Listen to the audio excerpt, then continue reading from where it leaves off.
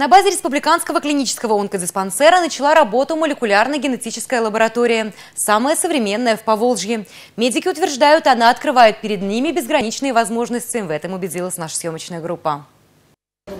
Генетика – это книга, где раскрывается вся информация о человеке. Еще совсем недавно это казалось фантастикой, а сегодня медики могут точно предугадать возникновение болезни еще задолго до появления патологии. А значит, появляется реальная возможность предотвратить серьезные заболевания. Молекулярно-генетическое исследование – самый совершенный и точный способ его установления.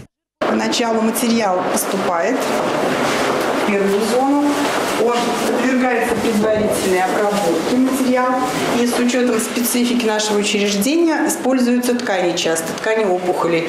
Вот есть хороший прибор гомогенизатор, на котором ткань обрабатывается. Возможность обрабатывать кровь. Бывает и кровь, и опухоли, опухолевые ткани. Это здесь подготавливается для того, чтобы в дальнейшем выделять ДНК. Оборудование высочайшей точности выдает результаты уже на четвертый день. У нас есть очень хорошая автоматическая станция выделения ДНК. Она очень производительная. Мы очень этому рады.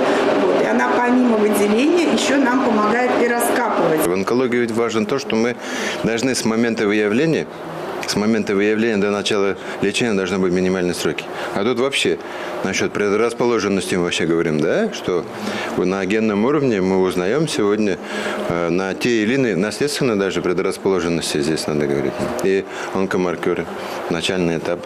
И и здесь медицинский эффект у нас мы с вами видим хороший, да, социальный эффект, но и в перспективе посчитать и экономический эффект мощнейший получается. На оснащение лаборатории из республиканского бюджета было выделено 16 миллионов рублей. Теперь все необходимые исследования будут делаться в Чебоксарах, а не в соседнем регионе, как было прежде. Рифат Фаткулин, Андрей Шоклев, Республика. Очень большая